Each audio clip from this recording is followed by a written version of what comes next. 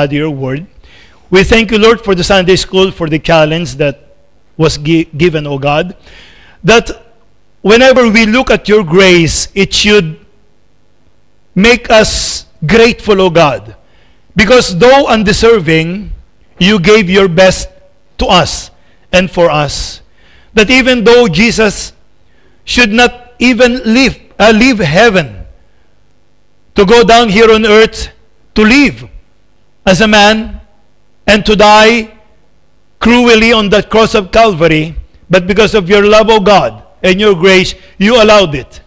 And you have given us a chance that when we repent of our sins and open our hearts and receive Jesus as our Savior, then you put us, Lord, into the fold as a part of your family. So I pray, Lord, as a child of God, that we will just spend our lives, O God, serving you glorifying you, living, O God, so that your name will be lifted up in the midst, Lord, of this word. I pray, Lord, that you will continue to use us and bless us. Forgive us of our sins and make us worthy, Lord, as we once again go to your word and study them, Lord, according to what is written in the book. I pray that you will give us wisdom and illumination because left alone, Lord, we're unable to understand your word, but with the help of the Holy Spirit, we can, Lord, not only understand, not only discern, but the Holy Spirit will also give us the grace so that we can apply your words in our lives. Speak to us, Lord, and we love you. Thank you for loving us. In Jesus' name I pray. Amen and amen. You may be seated. So we will continue uh, where we left off yesterday as we study about uh, apostasy. We look we are looking now at the spectrum of unbelief and error. We saw yesterday that uh, there is what we call unbelief, and unbelief is opposite of uh, faith. And if a person do not have faith in the Lord Jesus Christ, as what we ha- he had done on the cross of Calvary, then it will cause men to die in their sins and be sent to hell and suffer forever and forever. We see also that there is doubt. And doubt is something that show, shows that we have little faith or our faith in the Lord is weak. And we saw one example, and that is uh, Peter, when he was walking on water, started with a strong faith. But when he saw that the uh, wind is boisterous, and he looked at the storm, uh, lifting his eyes away from the Lord Jesus Christ, then he started to sink. And the Lord Jesus Christ has to save him and rebuke him for having little faith. You see, as Christians, the Bible is our final authority. It is the Word of God. When God said it, then that settles it. When God proclaimed it, we believe it. The Bible says, uh, uh, trust in the Lord with all thine heart, and lean not unto thine own understanding. Why? Because our, our understanding is limited. We are finite being and God is an infinite being. The Bible says in Isaiah chapter 55 that the thoughts of God is higher than our thoughts. So if we are going to lean on our own understanding, then we are susceptible to all, all errors that may come our way. But if we will allow God to speak to us and to only believe what God is saying, then we are on the safe side. In all thy ways acknowledge him, and he shall direct thy path. So we have no faith or unbelief, we have doubt, and then there is ignorance. We define ignorance as being unlearned or uninformed. If you do not know something, then you are ignorant on that matter. And that is the reason why the proclamation of the Word of God is very important because the Bible says, The entrance of thy Word giveth light, it giveth understanding unto the simple. So you wouldn't know about God without reading the Word of God. You wouldn't know about salvation without consulting the Word of God. You will not know, not know what is right and what is wrong if you're not going to understand the pages of this book. When you rely on your own standard, then your standard may be false, but when we rely on the standard of God, the standard of God is always true. Amen? Thy word is truth. That is what the Bible says. So that is why, in order for us to cure ignorance, then we need to preach the Word of God. You see, people wanted to go to heaven, but they do not want to go through the Word of God. This is our guide towards heaven. This is what, this is the book that is pointing us towards heaven. You see, it's very simple. You want to know about medicine? You read medical books. You want to know about engineering? You read engineering books. You want to know about the gossip? You read uh, gossip magazine. But if you want to know about God and you want to know about heaven, then you read the Word of God. You don't just listen to people, but you base everything on the Word of God. And then we study error or false faith. You see, there are two entities that are battling for our faith. That is God and the devil. And these two are protagonists from the beginning. And they will continue to be against each other until the end. When God proclaimed the truth, the devil will counterfeit it. When God started his church, the devil started his church. When God sent his son, the Lord Jesus Christ, the devil will send an antichrist in the latter times. Whatever God has done, the devil will counterfeit. That is the reason why there are errors or false faith that are in the world today. You see, Paul told the uh, people at Galatia that do not believe every anybody who will pre- preach that is not according to the word of God. Why? Because there is another gospel. There is another Jesus. There is another spirit. There is another church. There is another thing that the devil has started as God started his own truth. So that's why we need to identify and to avoid error because that is what we call false faith, false teaching, and false belief. One very glaring example of this is the saying that uh, God, the universal fatherhood of God, and the universal brotherhood of men. They say that all of us are God's children, therefore, all of us will go to heaven. Because we are all the children of God. Well, that's good to hear. But is it the truth? No, it is not the truth. Why? Because we are created by God, but we are not all the children of God. Let us look at the Word of God, John 8, chapter 44. And this is the proclamation of none other than the Lord Jesus Christ. And this is true because Jesus is never a liar and he will never lie. He says, Ye are of your father, the devil. Very clear. He's talking to these people, the Pharisees, and he told them that ye are of your father, the devil, and the lust of your father ye will do. He was a murderer from the beginning. How can you say that a murderer is a child of God? How can you say that a person who will kill another person without mercy, premeditatingly, is a child of God? He says he was a murderer from the beginning and abode not in the truth. If you are not in the truth, you cannot be a child of God. Why? Because God is truth. God is love. God is merciful. Because there is no truth in him. When he speaketh a lie, he speaketh of his own, for he is a liar and the father of it. So it means to say that in this world there are only two families the family of God and the family of the devil. If you do not belong to God, you belong to the devil. And if you belong to Jesus, then you do not belong to the devil. So, how is it that I am not a part of God's family? Well, because when Adam and Eve sinned, they actually gave us to the hands of the devil. We call that the fall of man. But even during the fall of man, God promised that He will send a Savior. And that Savior is the Lord Jesus Christ. He was born in time. He lived a perfect life. He died on the cross of Calvary. He was buried, resurrected for our justification. So how can a man become a child of God? John 1.12. The Bible says in John 1.12, But as many as received him, to them gave he power to become the sons of God. So by default, we are the sons of the devil. That is the truth from the Word of God. By default, we are the devil's children, but by repenting of our sins and the Bible says receiving Jesus in our hearts as our Savior, then we were given the power to become the sons of God, even to them that believed on his name. These, these are example of uh, errors and truths that are being propagated and proclaimed in the word. Most of the time, errors are very good to hear, but they are not true. Like, for example, cleanliness is next to godliness. Yes, it is true, it is good to hear, but it's not biblical.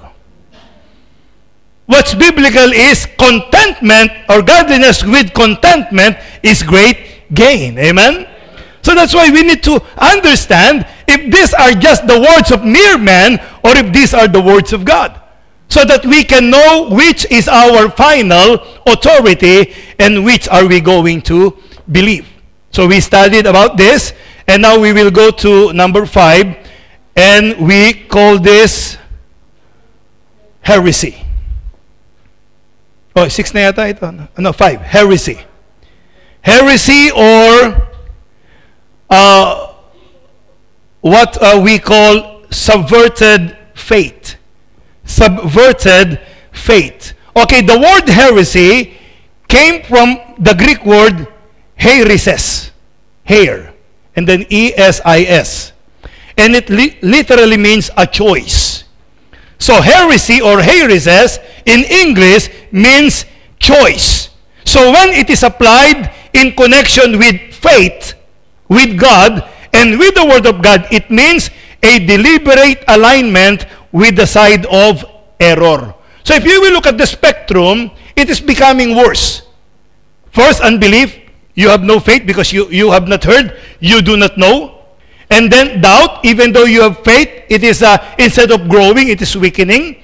And then ignorance, because there are things that you do not know, therefore you cannot believe. But once they are revealed unto you, then you can believe and you can have your faith to grow. And then after that, we have what we call error. These are the things that are false, not true, not according to the Word of God. And then heresy, and this is now a deliberate choice to side on error against the truth.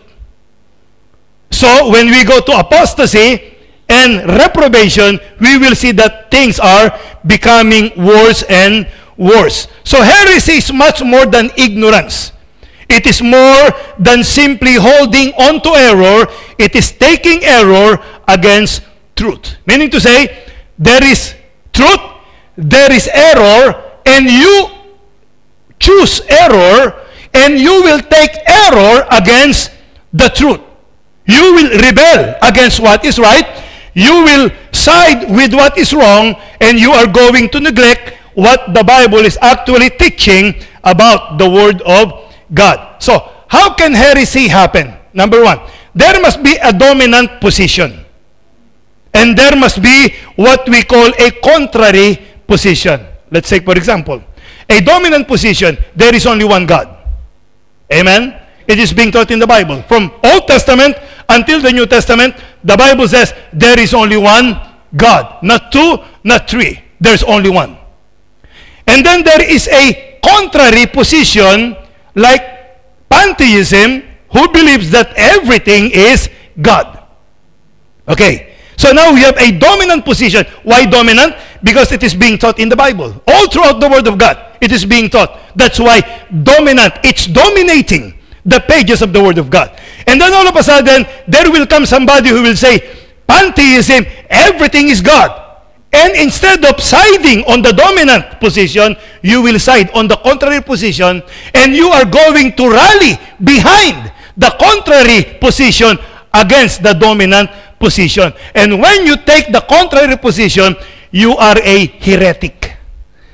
Or you are proclaiming heresy or a faith that is subverted not according to the word of God. But we have to be careful because heresy sometimes can be subjected, subjective. Meaning to say, if I am an iglesia ni Cristo, I have a subjective faith. I believe that Jesus is a mere man. So when you teach that Jesus is God, for me, you are a heretic. For you, I am a heretic. How can we solve the problem? Let us base everything on the Word of God. So, when we see in the Word of God that the dominant position is that Jesus is God, and the uh, contrary position is Jesus is not God. And when you side with this, then according to the Word of God, you are teaching heresy or proclaiming heresy. So that is the reason why we need to understand all of these things. Let us go to 1 Corinthians chapter 9, 11, verse 19. For there must be also heresies among you, that they which are approved may be made manifest among you. If you're going to look at the context of this, this is how it happened at Corinth. In order for a heresy to happen, number one, there ought to be what we call the denying of the doctrine of God. You deny the teaching of God. And number two, there is a division in the body. So, first of all, you will deny what is being taught clearly in the Bible, and you are going to make followers of you. So you are eventually dividing the church, and if that happens, that teaching is called heresy. Let me give an example in church history. Arian is, or Arianism is the first, uh, uh, what we call important heresy that happened in the church during the, uh, I believe, third century.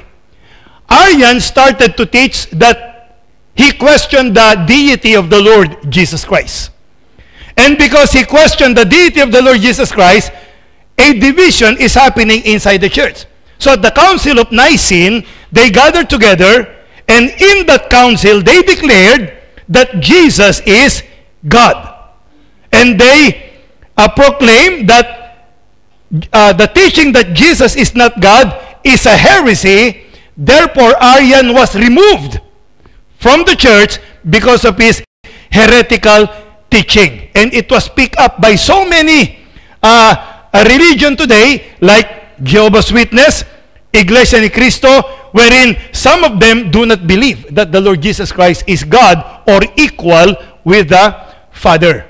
You see, error and heresy is very dangerous and sometimes they are very subtle. This is what is uh, happening mostly in the Philippines and even in, in other countries that uh, take the position of the Word of God. Number one, we need to understand that all of us are monotheists.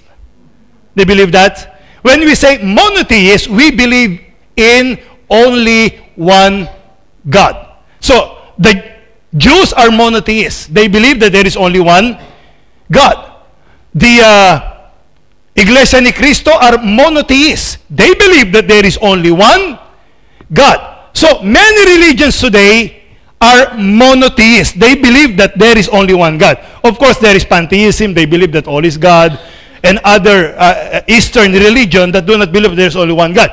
Of course, uh, uh, the Church of Latter-day Saints or Mormonism, they believe in the multiplicity of God because they said that if you're a Mormon, time will come that you are going to become God. They teach that Adam was once a man, he became God, therefore God was once, uh, once a man, and then he progresses to become God. So if it happens to Adam, it will also happen to those people that obey God. But there is the problem. In monotheism, there are variations. Number one, we have what you call Unitarianism. And you have what you call Trinitarianism. And you have what you call uh, dualism. And here is what you call oneness. So there are four, at least four variations. And only one is true. And the truth is Trinitarianism. That there is only one being that is God but that being is shared by three persons, the Father, the Son, and the Holy Spirit. That's what I'm saying. So that is Trinitarian. What is Unitarian? God, the Father is God, and the Father alone is God. Jesus is not God. The Holy Spirit is not God. What is oneness? The Father, the Son, and the Holy Spirit is one. There is, therefore, there is only one God. The Father is the Son, the Son is the Spirit, the Spirit is the Father. That is oneness. So, how can you define Or how can you find out what is heretical and what is right? You look at the Word of God. In the Word of God, the Father is God. That's clear. In the Bible, from Old Testament to New Testament, you go to Hebrews 1 8. Hebrews 1 8 will declare that Jesus is God.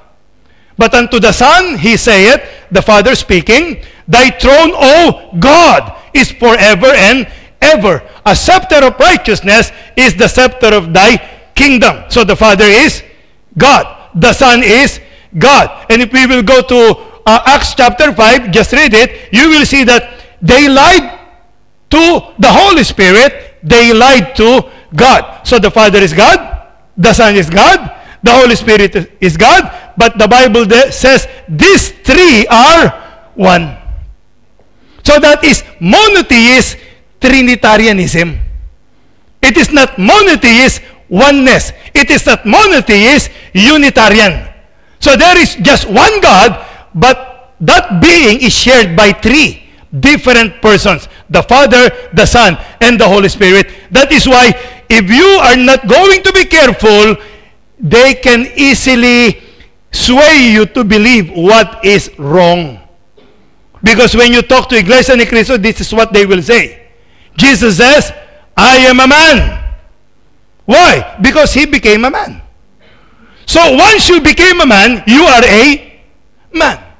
But at the same time, he is God. Look at Philippians chapter 2. 2.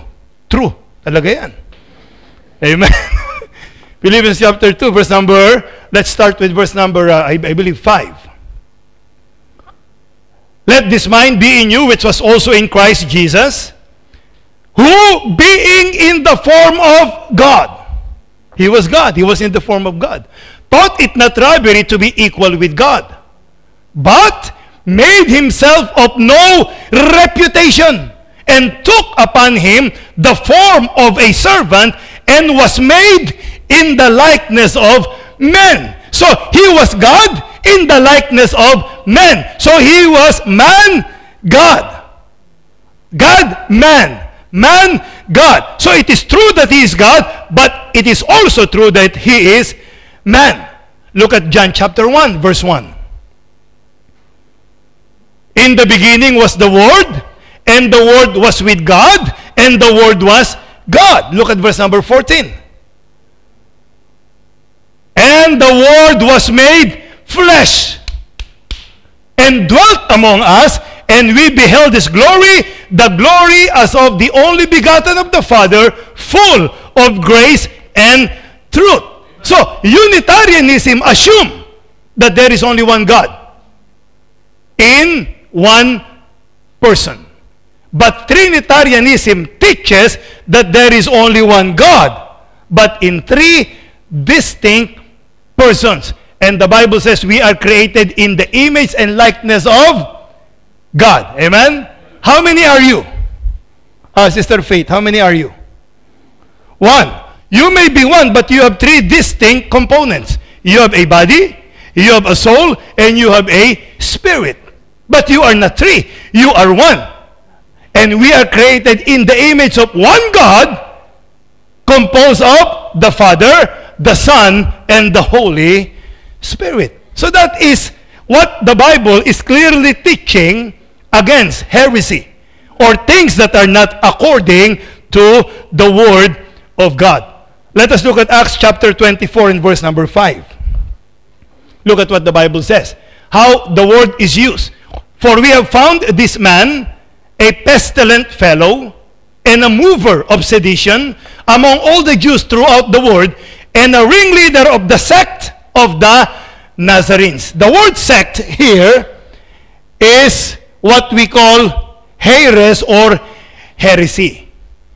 To the Jews, if you follow Jesus, the Nazarene, you are called heretic. So, this sect came from the Jews. So, heresy is like this. You are creating a group within a group.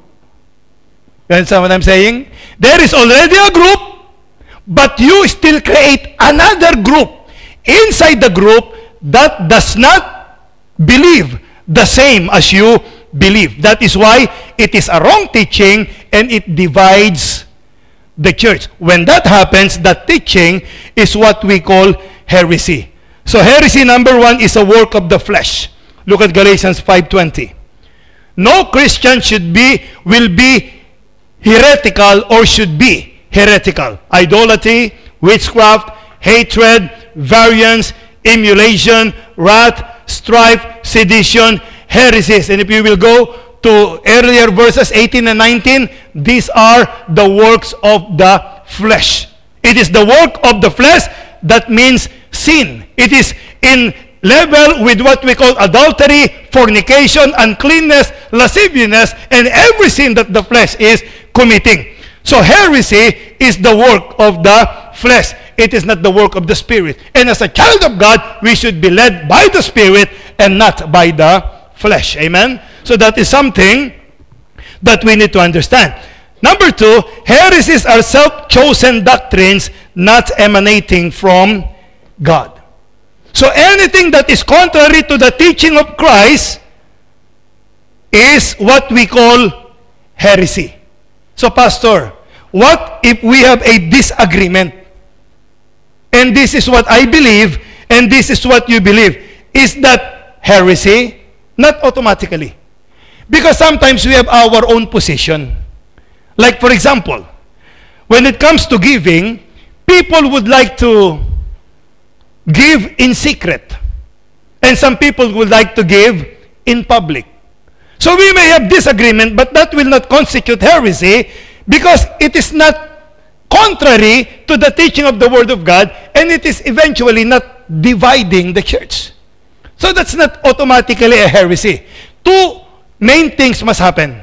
It must be contrary, clearly contrary to the Word of God. And number two, it, it is dividing the church. So when you, for example, say and proclaim here that we can lose our salvation, and it divides the church, and it is contrary to the Bible, then the teaching is a heresy.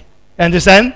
So not all disagreement. Maybe, oh, oh, you're heretic. No, you do not judge people in that way. We judge people according to the Word of God. Amen.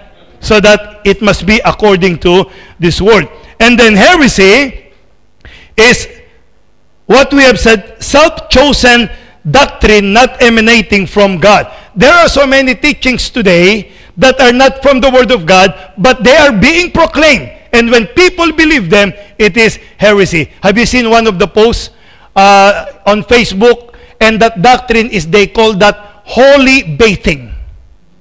Have you seen that? That there is a pastor who said that you must be bathed by me. I need to take you into the shower and I need to personally bathe you. The members, especially the women members. And then after a while, he was uh, prosecuted because he raped some of his members. Why? What will happen to you if you will bring a woman inside the bathroom naked and you will bathe that woman? You fall into sin. But he taught that in his Bible, in his uh, church. And that is a heretical teaching. Number two, holy laughter. Have you heard about holy laughter? Wherein there is a part in the church, when that part comes, all people will laugh until they drop to the floor and they will continue laughing because they said it is holy laughter. And it's not even found in the Word of God. So that is a heresy. You understand what I'm saying? So whenever you teach something that is not according to the Word of God, and even though collectively you believe it, it is still, it still constitute what we call heresy. So we have to be careful. Because heresy is something that will damn people and bring them to hell if they are believed. Number six, apostasy. Apostasy. So apostasy is what we call repudiated faith. As we stated previously yesterday, it is a deliberate act of repudiation of the faith and the Word of God. So heresy is siding with the error. Heresy is proclaiming what is not according to the Word of God. But apostasy is worse because apostasy abandon everything about God, about Jesus, and about the Bible. They do not believe anything about God. So that is what we call apostasy. They do not believe anything that is according to the word of God. That constitute what we call apostasy. Let us look at Jude verse number 3. And this is what the Bible says. Beloved, when I gave all diligence to write unto you of the common salvation, it was needful for me to write unto you and exhort you that ye should earnestly contend for the faith which was once delivered unto the saints. The word faith here, or the faith, means the whole body of truth given to us by God. Now, apostasy will deny the whole body of faith. They have nothing to do with the faith or the teachings that were given to us by the Lord. They will deliberately choose to go against all of these things. And that marks what we call apostasy. Let's go to our verse, 1 Timothy chapter 4, 1 to 3. And we can see here why apostasy is something that is worse. Now the Spirit, that's the Spirit of God, speaketh expressly, that people may really know, and it's very clear, that in the latter times, we are part of the latter times, some shall depart from the faith. Some will not believe the faith anymore. Giving it, instead believing, seducing spirits and doctrines of devils. You see, the devil has his own doctrine. I, I, I told you a while ago, the devil will always counterfeit the teaching of God with something that is in complete opposition to the teaching of God. That is why if you do not know the Bible, you are gullible and easily susceptible to errors that are being propagated in our time today. What are the doctrines of devils? Let us look at verse number 2. Speaking lies in hypocrisy. A liar and a hypocrite is doing the doctrine of the devil. You will not see uh, God teaching anybody to lie. You will not see that God is teaching anybody to be a hypocrite. Actually, God says, Thou shalt not lie. That we need to be truthful. So, if they say that, well, it is a white lie. My, they gave, they even gave colors to lies. A lie is a lie. And it will always be a lie and it will always be against God. Even if it is white, even if it is black, even if it is a pink, even if it is blue, even if it is a rainbow, a lie is a lie. So, speaking in lies and hypocrisy, having their conscience seared with a hot iron, that you don't care. You do what you believe, you do what you desire, you just don't care. Kasi, puno, uh, na, nabalutan na ng bakal yung ano mo, yung puso mo, yung konsensya mo. So you just don't care anymore. Look at verse number 3. Forbidding to marry. You see, there are religions that will not allow some people in that religion to marry. That is the doctrine of the devil. Why will you not allow people to marry when God created man for a woman starting in the Garden of Eden? He created man for a woman. Now, some may not forbid marry, but they will corrupt marriage by allowing man and man to be married, woman and woman to be married, which is a corruption of the teaching of the Word of God. Amen? And that's why when I was in, uh, in Santa Cruz, Laguna, there was a symposium between many different, uh, because it was February 14, they called that the Love Day. So they invited a, a couple, a married couple. They invited a boyfriend, girlfriend, a couple, from uh, those that are not yet married. They invited those that are living in. They invited a priest. And I was not invited as a pastor, but I was invited as a couple together with, of course, Sister Maribel. And they made that like a Boy Abunda type of uh, show. There is an interview. So we were asked and all of these things. We were asked as a couple, what we believe about love, and uh, those that are boyfriend and girlfriend, those that are living in, why are you not married, etc., etc. And they asked a priest. And then the priest answered that, well, uh, the reason why I am not married is because I'm already married to Jesus. That is uh, my uh, vow. But to be honest, that priest is a very handsome man. Actually, when, when, when he was introduced, the ladies said, Oh, sayang! Because it's very handsome. How handsome uh, uh, is he, Pastor? Gano'ng kaganda lalaki? Mga kapatid, pakinggan nyo, lamang na lang ako ng konti. Isipin mo kung gano'ng kaganda lalaki yun. Nasuka na yung anak ko. But he said, I have to be honest with you. I received a lot of letters from ladies asking me to leave the uh, uh, priesthood and to be their partner. But he said, I am already committed to Jesus and I cannot do anything against that. I am forbidden to marry because I am married to Jesus. So, when they opened the panel, uh, everybody for discussion, I asked the priest, where can you find in the Bible that a priest or a man of God, a servant of God, should not be married? Because I told him, I'm sorry, sir, but I am a pastor and I am married. And because he, he can give examples, but he couldn't open the Word of God. But I opened the Word of God. In uh, 1 Timothy chapter 3. Can, can, can we go there? Beginning in verse number 1. Is that 1 Timothy chapter 3? This is a true saying. If a man desired the office of a bishop, he desired a good work.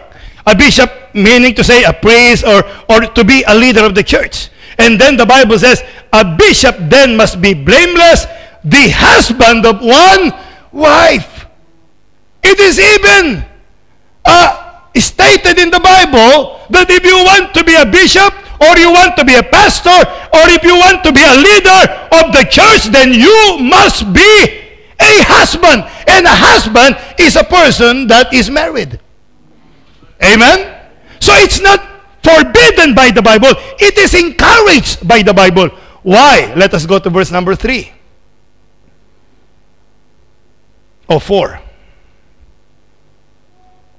One that ruleth well his own house having his children in subjection with all gravity. Why? Because you must be an example to your flock on how to lead your household. How can you teach them to be a father if you're not a father? How can you teach them to be a family man if you are not a family man? Can you teach them to discipline the children if you have no children? And then look at verse number 5. For if a man know not how to rule his own house, how shall he take care of the church of God? That's very clear. Amen? So that is the doctrine of the devil. So when I read it, he said, I'm sorry, but I have an appointment. I have to leave. But I said, we must proclaim the truth, the whole truth, and nothing but the truth. Amen? That is what was given to us by God. And then let's go back to verse number 3 for 1 Timothy chapter 4. Not only forbidding to marry, but what else? Commanding to abstain from meats. You cannot eat this. You cannot eat that. If it is a balut, you know balut, sir? Uh, it is a uh, a balut. it is a, a, a, a chick that was not hatched. And, and the chick is still there and you're going to eat it. You cannot eat balut. You cannot eat this and you can forbidding uh, to abstain from meats which God had created to be received with thanksgiving. They are contrary to what God is teaching. Let us go to Romans chapter 14. And it is very clear. Look at what the Bible says. That's why today we have a lot of vegetarian. And they said that this is what we need to do. I don't condemn them, but the Bible is saying something against it. Romans chapter 14. Him that is weak, weak, weak, weak in the faith, receive ye, but not to doubtful disputations. So there are people weak in the faith. For one believeth he may eat all things, another who is weak eateth herbs. See? According to the word of God, if you only eat herbs, vegetable, that is your belief, then your faith is weak. But the person who is strong in faith believes that he can eat everything. Why? Because God created them to be eaten. And you, all you need to do is thank God for the food and you go right in and dig in. That is what the Bible is teaching. But, but, listen to me carefully. If you are already sick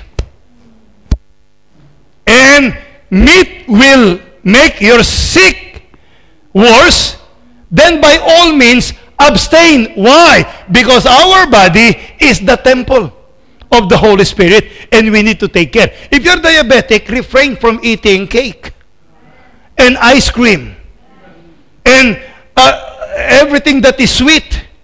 So if you have a, wife that is sweet, tell your wife, become sour from now on. because I cannot take you in because you are so sweet. I am diabetic, you see? So, wisdom must be used. But listen, we have to be careful to know what is being taught by the Bible and what is not being taught by the Bible because unknowingly we might follow the doctrine of the devil and that is detrimental to our spiritual health. Amen? So what are the characteristics of an apostate? Or how can you say that you are now apostatizing? Number one, an apostate has listened and listened to and given credence or belief to seducing spirits. When we say seducing spirit, it will entice you to do in order to satisfy your flesh. In the Bible, in 1 John chapter 4, verse 6, look at what the Bible says. The Bible says in verse 6, We are of God. He that knoweth God heareth us. He that is not of God heareth not us. Hereby know we the spirit of truth and the spirit of error. So seducing spirit is the spirit of error. If it is not true, then it is what we call a seducing spirit, a teaching that is contrary to the word of God. Okay, let's go faster. Uh, we have a few more minutes. Number two, an apostate has accepted devilish doctrine. You believe something that is in opposition to the word of God. What are those doctrine? Like forbidding to marry. Like abstaining from meat. Not only that. But let's go to Hebrews chapter 13, verse number 9. Be not carried about with diverse and strange doctrines. Ano ba to? Babae siguro to. Uh, be not carried about with diverse and strange doctrines, for it is good thing that the heart be established with grace, not with meats, which have not profited them that have been occup occupied therein. So there is what we call another diverse manners, different uh, doctrines and strange doctrines. When we say strange, not according to the Word of God. When you say strange, it means alien. When you say alien, it is not according to the Word of God. So if they uh, taught something that is not according to the Word of God, do not believe it because that is a heresy and being taught by apostate. Like, for example, if you give God money, then God will make you rich. That's not being taught by the Bible. Yes, the Bible says, given it shall be given you by man, but not by God. Because God is the first who gave. Because we have nothing, if God will not give first, then we cannot give. So when we receive, that's the only time that we can give. So it should be, as you receive, you give. Not you give so that you will receive. That is the opposite of what the Bible is teaching. And ladies and gentlemen, believing God and having faith in God is not about becoming rich. That is why people are frowning at religions today because they are seeing that religious leaders are becoming incredibly rich at the expense of people that are following them. Benny Hinn, T.D. Uh, Jake, uh, sitting may two, uh, four jets? Kenneth Copeland, Joel Osteen. You see, these people are very, very rich, using the Word of God at the expense of other people. When Jesus Christ said, I do not even have a pillow to put my head. And Jesus says, freely ye receive, freely give. But now these people are using the Word of God to enrich themselves. That is why when you approach people, sometimes they will tell you, ah, Pastor, I'm sorry, I have no money. I will not be a blessing to your church. Why? It's not about money. It is about the soul of man that is priceless. Because the price of a man's soul is the precious blood of the Lord Jesus Christ. What shall it profit a man even if he gain the whole world and suffer the loss of his own soul? Or what can a man give in exchange for his soul? So we are here not for the money. We are here for the Lord by the grace of God. So if you want to become rich, please don't go into the ministry. You are just going to corrupt the Word of God. God knows what we need. God will bless according to His riches and glory, but what is important is the provision of our needs, not of our wants. Because wants is fleshly, and our need is being provided by God. Number three, an apostate is a lying hypocrite. He will say something that he is not. Number four, an apostate has a guilty conscience. His conscience is not functioning according to the Word of God anymore. And number five, an apostate forbids and condemns contrary to God's law. They will tell you, don't do this, but they cannot show you from the Word of God. That's the problem. Like, for example, in the group of Eli Soriano, how we call that uh, dating daan, there is a teaching that women should not wear underwear or bra. But that's not, uh, he, he cannot show any verse from the Word of God. That they are not allowed to wear jewelries. But they should donate the jewelry to the church so that it can be used in propagating the Word of God. So the, the question is always like this. When somebody taught you something or teach you something, ask them, chap book, chapter, and verse. If they cannot show it from the Word of God, it is not according to the Word of God.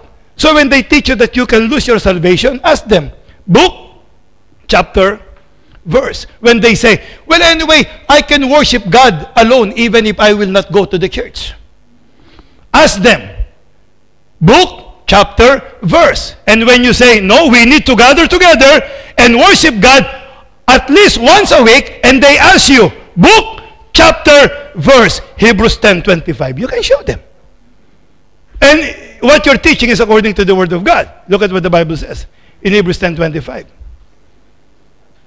not forsaking the assembling of ourselves together, as the manner of some is, but exhorting one another, and so much the more as ye see the day approaching. So we are commanded not to forsake what? The assembly like this. It's in the Bible. But there are people, I, do, I don't need the church. Book, chapter, verse. They cannot show it.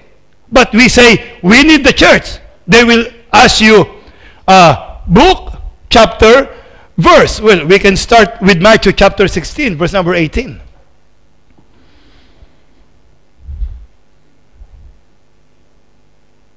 And I say also unto thee that thou art Peter, and upon this rock I will build my church. Question. Do you mean to say that what the Lord Jesus Christ built is not important? It's important. So if it is important, do you need it? Of course we need it. So why are you not in the church if you need it? And why are you not in the church if it is important? Let's go to Acts chapter 2, verses 41 to 47. And we might end here. We might. Let's hope. Then they that gladly received his word were baptized, and the same day there were added unto them the church about 3,000 souls. And what did they do? And they continued steadfastly in the apostles' doctrine and fellowship, and in breaking of bread and in prayers. And fear came upon every soul, and many wonders and signs were done by the apostles. And all that believed were together, all that believed were together, and had all things common. Look, at, uh, let's jump to 46. Praising God and continuing daily with one accord. During that time, the gathering is daily. Now, only once a week. And most of the time, you're still absent. What a snacking blade. Amen?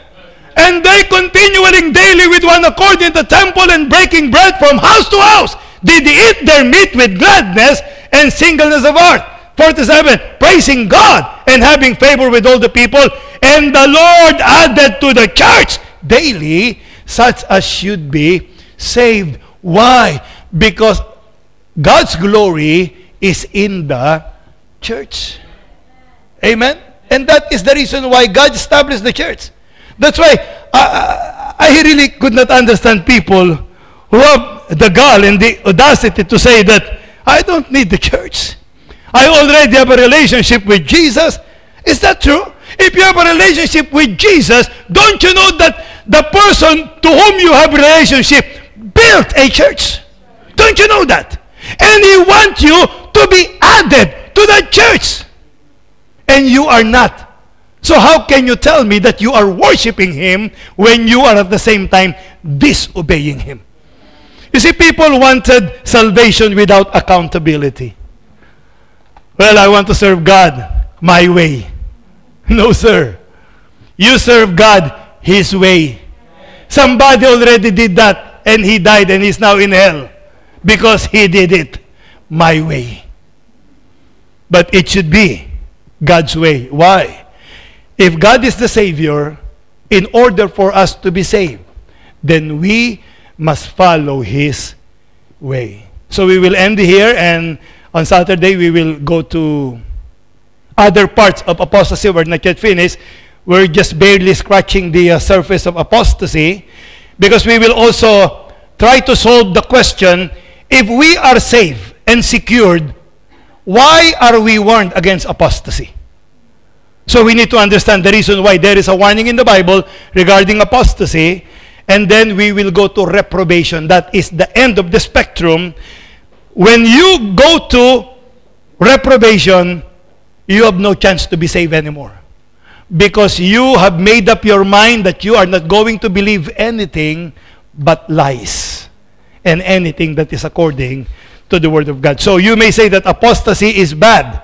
Wait until we go to the doctrine of reprobation.